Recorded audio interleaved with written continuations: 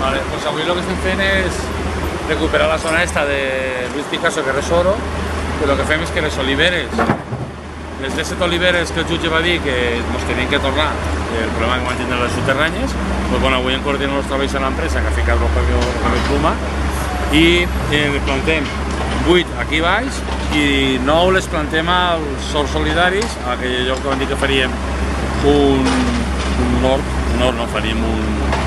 viver, un viver forestal municipal, però els clementís que tenim aquí, que dos ja estaven morts per excés hídric, perquè el clementí és complicat que visqui en una zona on hi ha gespa,